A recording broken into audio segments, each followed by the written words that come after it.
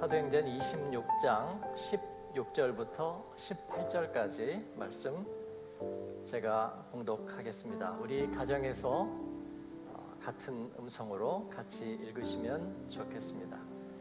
일어나 너의 발로 서라. 내가 내게 나타난 것은 곧 내가 나를 본 일과 장차 내가 내게 나타날 일에 너로 종과 증인을 삼으려 함이니 이스라엘과 이방인들에게서 내가 너를 구원하여 그들에게 보내어 그 눈을 뜨게 하여 어둠에서 빛으로 사탄의 권세에서 하나님께로 돌아오게 하고 죄사함과 나를 믿어 거룩하게 된 무리 가운데서 기업을 얻게 하리라 하더이다. 아멘. 내가 너를 보내노라. 아, 예수님께서 제자들에게 하셨던 말씀 그리고 복음의 사람들 특히 사도 바울에게 예수님께서 나타나셔서 그에게 하신 말씀 오늘 사도행전의 마지막 말씀으로 여러분과 나누려고 합니다. 첫 번째 제목은 박해와 고난을 넘어입니다. 사도행전은 예수님의 제자들이 복음과 함께 길을 걸어갔던 그 루트를 우리들에게 보여주고 있습니다. 누가 그 루트를 계획했을까요? 아무도 계획하지 않았습니다. 아, 그러면 그냥 랜덤으로 어, 그들이 임의로 그냥 살아갔을 뿐일까요? 환경에 그때그때 반응하면서 그런 것은 아닙니다. 저자인 누가는 이 사도행전이 성령에 의해서 인도되어 감을 우리들에게 보여주고 있습니다. 그래서 사도행전은 아, 성령행전이라 그렇게 알려져 있는 거죠. 성령의 인도하심에는 어떤 원리가 있었을까요? 그 비밀은 우리가 사도행전 1장 8절에서 깨달은 바 있습니다. 예수님께서 승천하시기 전에 그 로드맵을 친히 말씀해 주셨기 때문입니다. 그 로드맵은 무엇이죠? 예루살렘과 유대와 사마리아와 땅끝까지 주의 제자들이 복음의 증인이 되는 것입니다. 저는 이것을 복음의 동심원이라고 그렇게 말씀드리고 싶습니다. 보통 루트라고 하면 어느 꼭지점 하나 찍고 그 다음 점 찍고 그 다음 점 찍고 그 다음 점 찍고 가는 거잖아요. 그런데 예수님은 그렇게 얘기하지 않으셨고 마치 방송국에 가서 그 전파가 어떻게 전해지는지를 그릴 때 아, 이렇게 원으로 그리잖아요. 아, 전파가 확산되는 범위를 그리는 것입니다.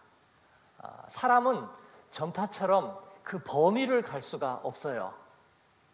한 점밖에 못 가잖아요. 그런데 전파나 전기 같은 것은 분명히 변전소나 혹은 그 송신소가 군데 군데 군데 있는데도 불구하고 그 지역 전체를 다 커버를 하는 것입니다. 그래서 원으로 이렇게 표시를 해요. 저는 이것을 복음의 동심원이라 그렇게 부르는 것입니다. 예수님은 제자들에게 예루살렘으로부터 시작해서 원이 조금 더 커져서 유대, 조금 더 커져서 사마리아, 그리고 조금 더 커져서 이제 아시아와 유럽과 그리고 땅끝을 그리는 그 동심원을 말씀하셨습니다. 그 동심원의 핵심은 무엇일까요? 바로 교회입니다. 복음이 증거되는 복음이 그 증인들에 의해서 전해질 때 그곳에는 예수 그리스도의 몸 코르푸스 크리스티 그리스도의 몸인 바로 그 교회가 그곳에 등대처럼 송신소처럼 발전소처럼 그리고 병원처럼 세워지는 것입니다. 하나님 나라의 플랫폼 그리고 예수 그리스도의 생명의 구원의 집 그 교회가 세워지는 것입니다. 이것이 사도행전의 로드맵입니다. 그 외에는 그 어떤 것도 미리 알려지지 않았습니다. 알았더라면 아마 예수님의 제자들이라고 해도 그들이 박해를 향해서 뚜벅뚜벅 갈 수는 없었을 거라고 생각해요. 막힌 담과 풍랑과 그리고 고난을 향해서 그들이 스스로 걸어가고 그리고 옥에 갇히고 목이 참수당하는 그런 시련을 그들이 자원해서 갈 수 있었을 거라고 생각하지 않습니다. 그러나 그 주님의 부탁과 명령이 있었기 때문에 그들은 기대하고 또 성령의 이끄심을 따라서 그 예수님의 말씀하신 로드맵을 따라 가는 것입니다. 저는 사도행전의 말씀을 시작하면서 땅끝이 어디인가 그 주제를 말씀드린 바가 있습니다. 아, 땅끝은 어디였나요? 지중해 일대 당시에 헬라 제국이 정복했고 로마 제국이 이어서 접수했던 그 로마 제국의 경계 그것이 땅끝이었을까요? 땅끝은 그보다 더 멀었습니다. 그래서 어, 저 대양 산호섬 어, 그리고 저 북방 얼음산 네, 땅끝은 훨씬 더 멀었던 거죠. 그래서 그 복음은 다시 유럽에서 더 먼 곳으로 이제 미지의 땅들이 발견됨에 따라서 다시 아시아 구석구석으로 그리고 새로운 아메리카 신대륙과 또 중남미 그리고 오세아니아 저 변방과 태평양의 섬들에까지 이제 복음은 달려가는데 말씀드린 것처럼 땅끝은 그래도 멀었습니다. 왜냐하면 땅끝이란 지리적인 경계의 끝이 아니라 바로 사람의 마음의 끝이었기 때문입니다. 복음은 사람에게만 전달되는 것입니다. 사자나 호랑이나 염소나 양에게 복음은 필요하지 않았고 하나님의 형상으로 에덴을 잃어버린 사람들. 오늘 저와 여러분의 이웃 가운데 있는 고향을 잃어버린 사람들, 삶의 근거를 잃어버린 사람들, 사랑할 이유를 잃어버린 사람들, 마치 빛 알레르기에 시달렸던 이전에 헬무트 콜 수상의 그 서거하신 부인처럼 어둠 속에 있는 고통받는 사람들에게 복음은 필요한 것이죠. 그래서 복음의 땅끝은 지중해의 끝이나 저 아프리카의 끝이 아니라 하나님을 떠나버린 신라권의 인간의 마음이 땅끝이었다는 것입니다. 그래서 그 땅끝에는 누가 갈 수 있을까? 예, 복음을 가진 사람만이 갈 수 있는 겁니다. 어, 산이라면 등산하는 사람이 올라가겠고요. 그리고 저 멀리 있는 곳이라면 배를 타고 항해하는 사람이 갈 수 있겠지만 인간의 마음의 땅끝에는 복음과 그 복음을 가진 사람만이, 복음을 전할 수 있는 사람만이 갈 수 있는 거예요. 그래서 예수님께서는 그 제자들에게 학식이 많지 않고 권세가 크지 않았던 그들에게 성령의 숨을 불어주시고 그들을 인간의 마음의 땅끝으로 보내주신 것입니다. 그래서 그 땅끝에 주님의 교회가 세워지게 하셨습니다. 내 집은 만민이 기도하는 집, 어린 양 예수 그리스도의 그 보혈의 치유함이 있는 곳, 그리고 그것에서 하나님을 인격적으로 만나고 새로운 삶을 시작할 수 있는 것, 그것이 바로 주님의 교회입니다.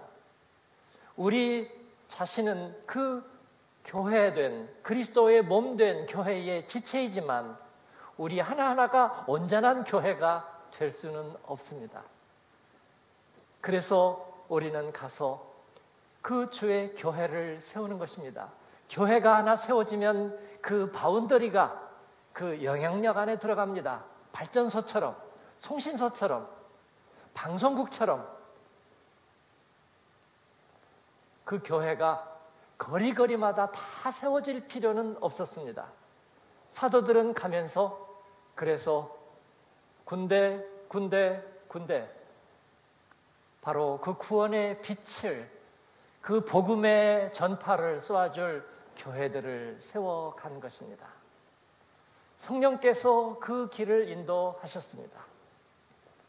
그런데 그 길에는 장애물들이 많았고 박해가 있었고 자연적인 재해가 있었고 강도의 위협과 전염병과 굶주림과 추위와 온갖 인간이 갖는 어려움들이 다 있었습니다. 그런데 사도행전은 성령행전이라고 말합니다.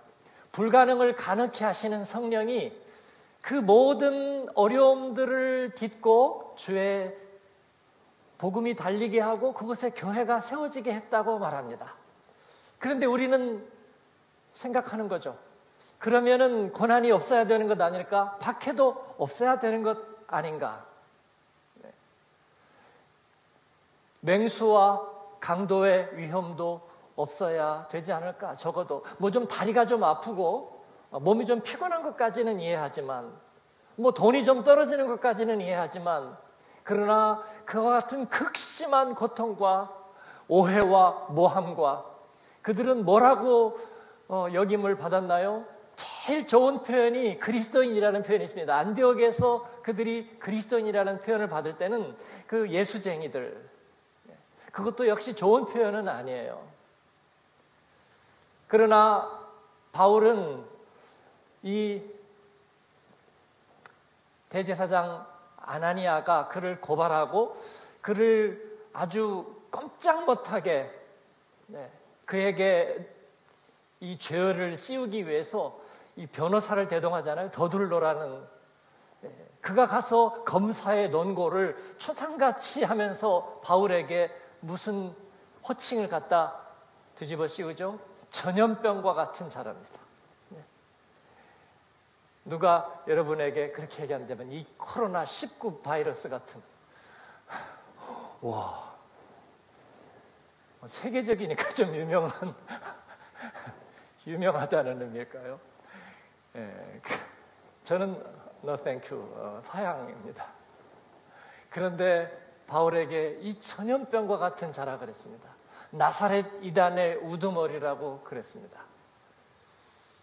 그들에게 그런 모함과 오해와 그런 박해들까지 꼭 갈 필요는 있었을까요? 그러면서 우리가 하는 생각은 뭐냐면 성령님 도대체 어디 계십니까?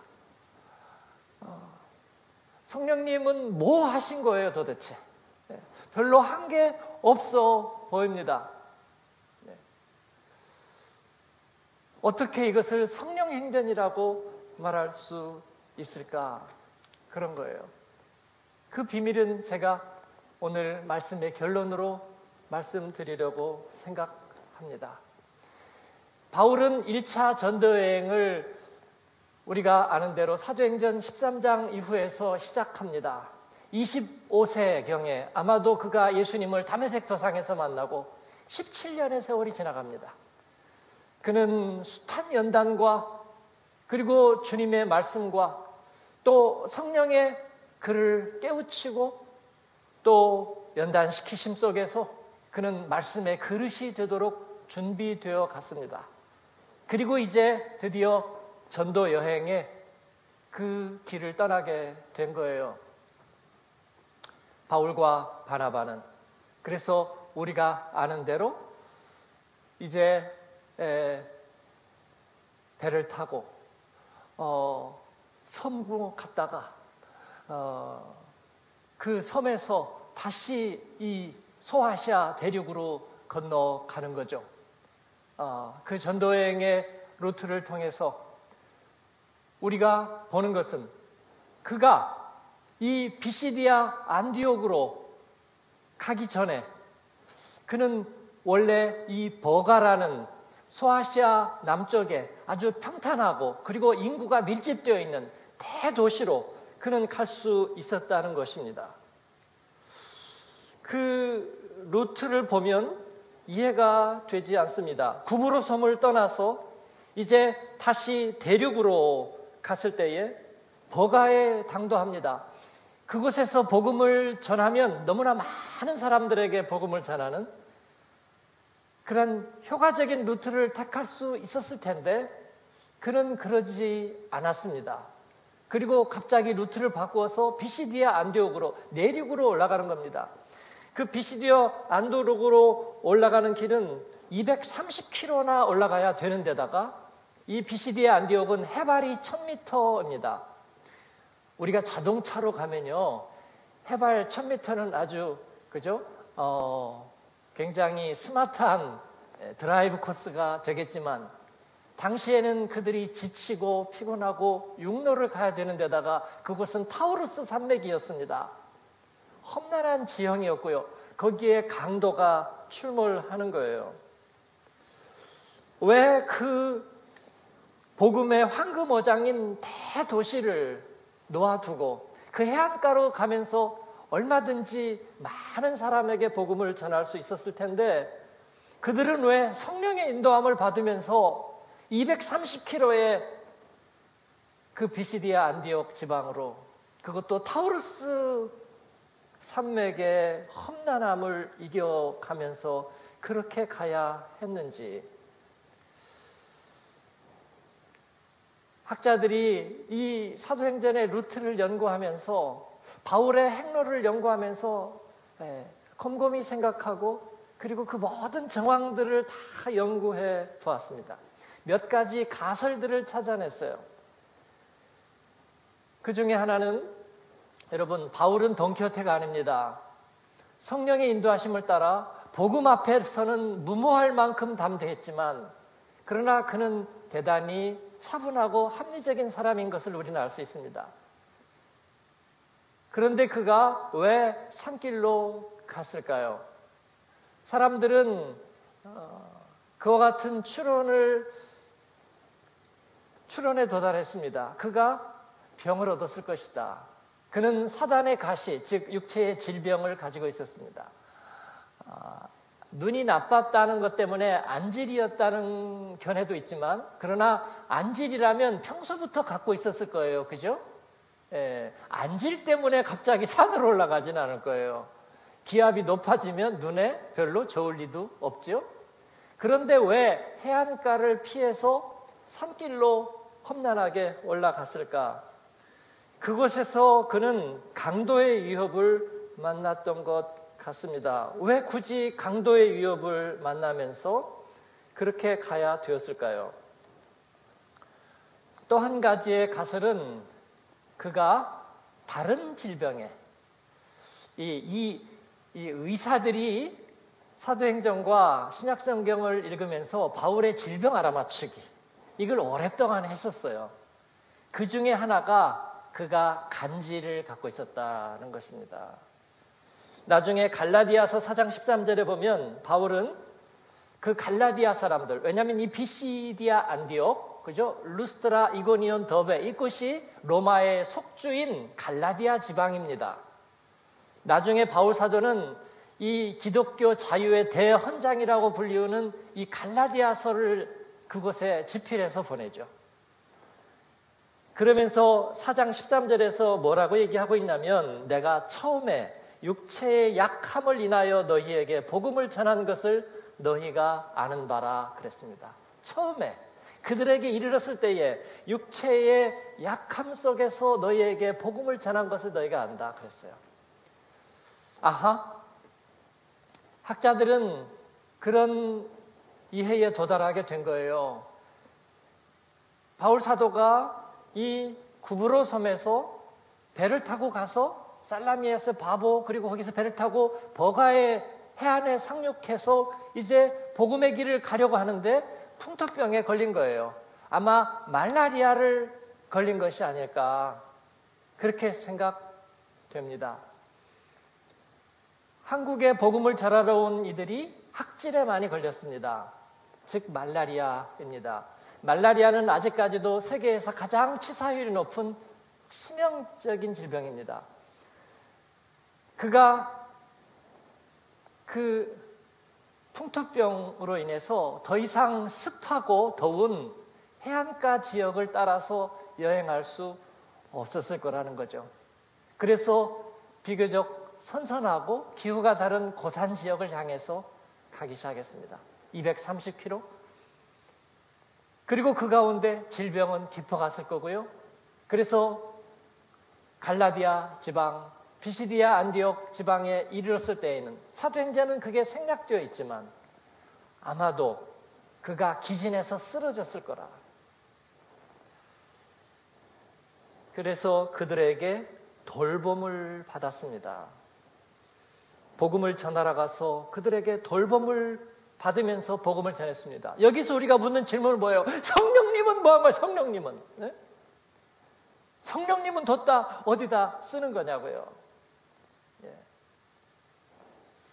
성령님은 아무것도 한 게 없어 보입니다. 결정적인 순간에는 어디엔가 숨어서 역할을 하지 않는 것처럼 보입니다. 사랑하는 여러분, 그러나 그 성령께서는 그 모든 루트를 주장하고 계셨습니다. 우리들의 연약함 가운데에 그분은 함께 계셨고, 그리고 그가 가지고 있는 그 복음의 열정 속에 함께 계셨고, 그가 전하는 복음 안에 함께 계셨습니다. 우리들의 연약함과 고난과 그리고 박해 속에서 흩어져 버린 그들 가운데에서 성령은 마치 침묵하시는 것 같았지만 그러나 주님의 말씀과 함께 그들은 같이 달려가고 있었습니다.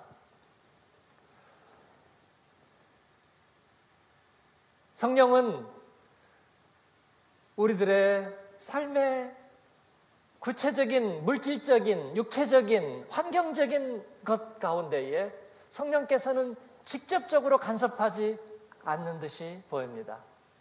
그러나 그것보다 훨씬 훨씬 훨씬 더 중요한 것은 성령은 우리 안에서 생명의 스피릿으로 작용하시고 그리고 바울은 거기에서 멈추지 않았습니다. 왜냐하면 성령께서 그의 안에 멈출 수 없는 열정으로 불을 떼고 계셨기 때문입니다.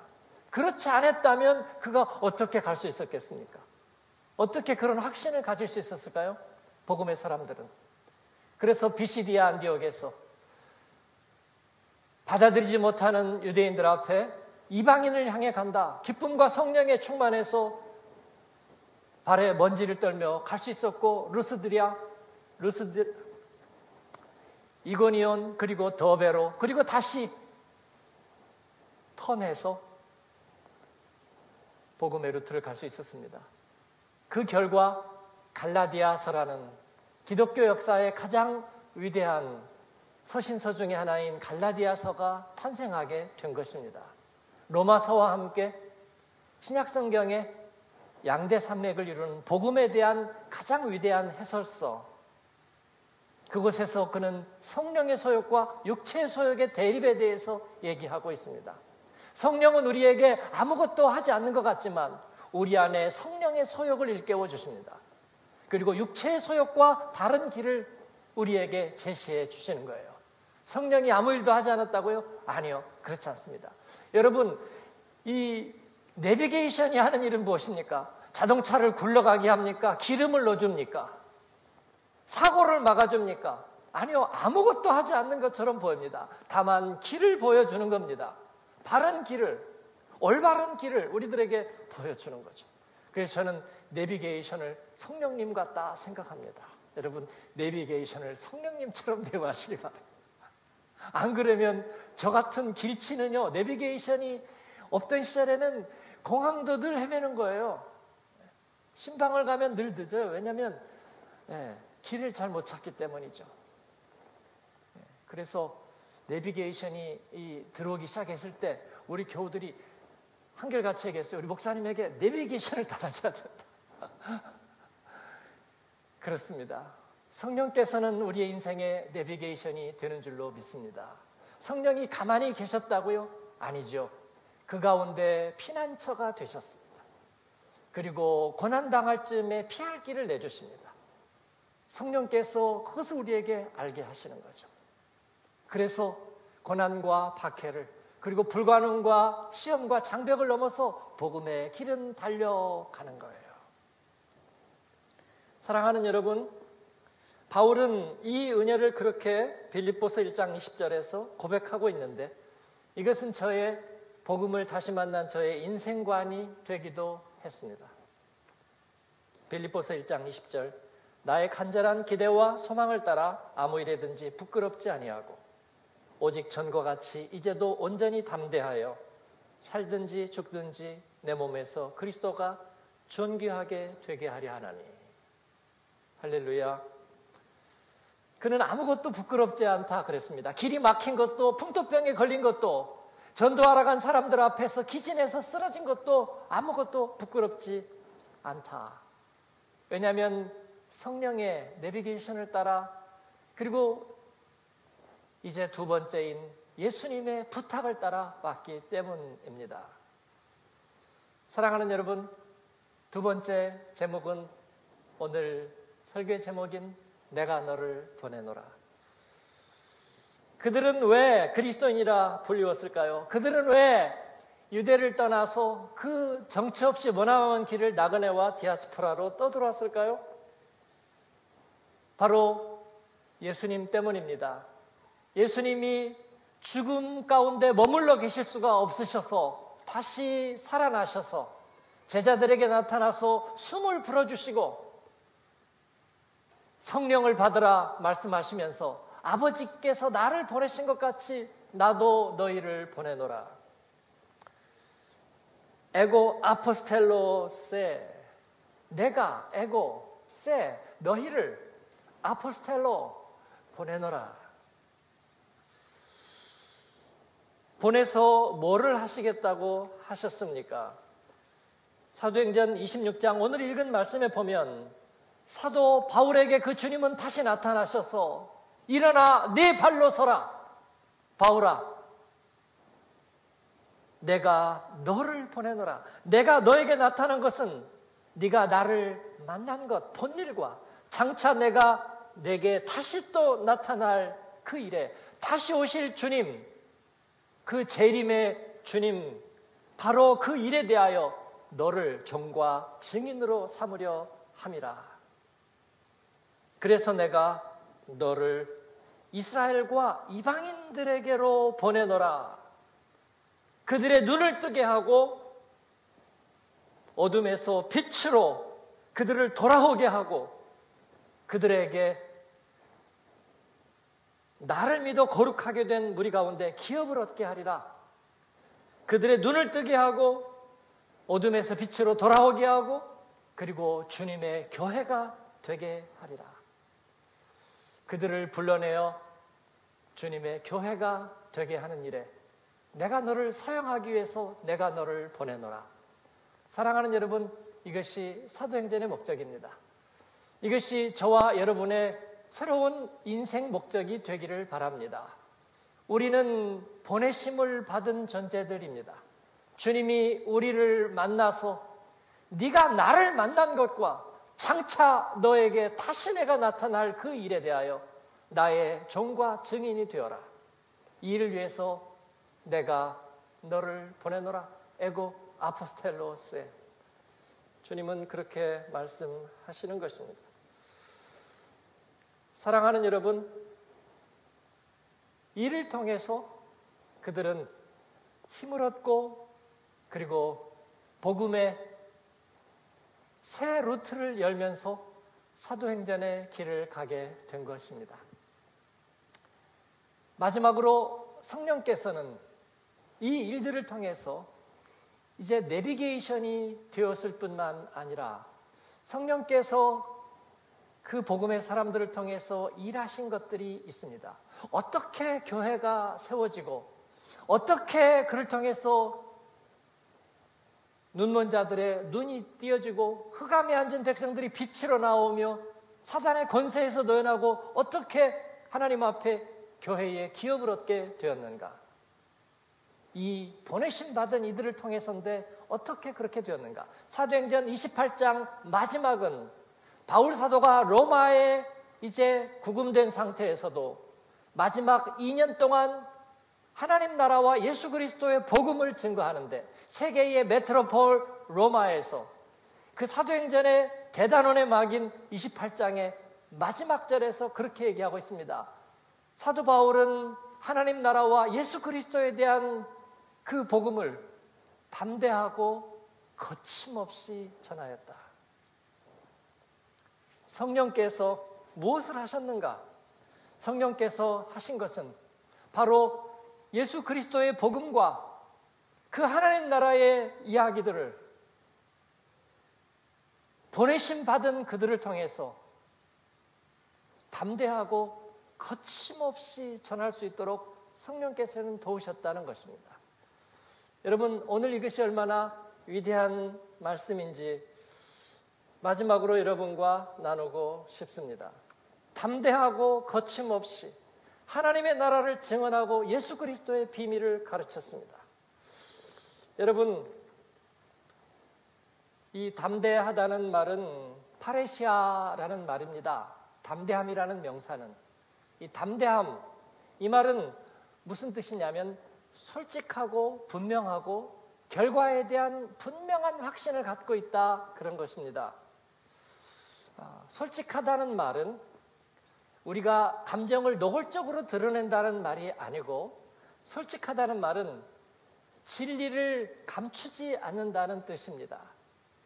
그런 면에서 담대한 저와 여러분이 되기를 바랍니다. 성령께서 그들 안에서 예수 그리스도의 구원을 경험하게 하시고 그 은혜의 깊은 비밀을 경험하게 하셨습니다. 주님의 은혜로 인해서 그들의 가슴이 뜨거워지고 그래서 그들은 그 받은 은혜를 감추지 않고 그대로 드러냈습니다. 의사가 의사 가운을 입고 간호사가 간호사 가운을 입듯이 그리스도인은 그리스도의 옷을 입는 것입니다. 그 말은 뭐냐면 주님이 내 안에서 일하신 것을 감추지 않는 거예요. 감춘다는 것은 뭔가 꼼수가 있는 거야. 은혜를 받았는데 은혜 받은 것을 억지로 감춰요. 왜 그럴까요? 뭔가 아직도 내가 욕망을 따라 살 이유가 있기 때문 아닐까요, 여러분? 예? 세상 속에서 뭔가 내 마음대로 살아야 될 뭔가가 있기 때문 아닐까요? 그러나 성령께서는 우리가 그 복음을 감추지 아니하고 우리 안에서 드러내도록 도우시는 거예요. 그리고 이 담대하다는 것은 분명함을 얘기해 줍니다. 하나님의 말씀을 드러낼 때 주님이 내 안에서 하신 일을 드러낼 때에 분명하게 말했습니다. 표현이 분명하게. 예. 여러분, 우리 기도할 때 기도의 생활은 뭡니까? 하나님께 드리는 것과 받는 것 두 가지로 이루어지는 거예요. 그렇지 않아요? 그래서 우리 옛날에 기도들이 대부분 벌써 응답하여 주시옵소서. 예. 그렇게 하게 하여 주시옵소서. 요즘은 그 주시옵소서라는 말 대신에 좀 고상한 표현으로 해서 원합니다로 바뀌었어요. 근데 저는 그게 저도 입이 많이 거기에 물이 들었어요. 그래서 원합니다, 원합니다를 저도 모르게 많이 하게 되는데 이게 분명한 표현이 아니에요. 원하다는 말이 뭐죠? 달라는 표현이 훨씬 더 분명해요. 그죠? 그래서 애들은 부모에게 뭐라 그래요? 원합니다. 그렇게 말 안 해요.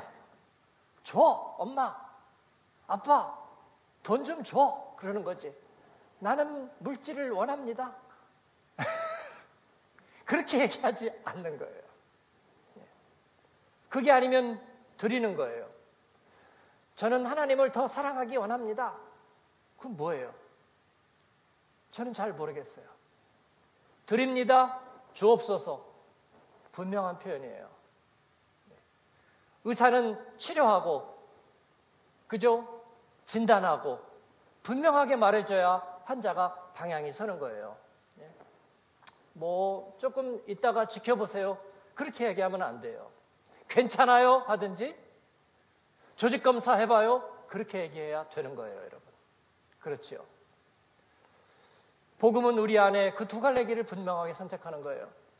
성령님은 우리 안에서 성령의 소욕과 육체의 소욕을 분명하게 구별하셨어요. 그리고 우리로 하여금 분명하게 말하게 하셨습니다. 사도들은 생명의 길과 사망의 길에서 분명하게 선포할 수 있었어요. 자기 안에 있는 것을 내가 과거에 주님을 핍박하던 사람이라고 해서 부끄러워하지 아니하고요.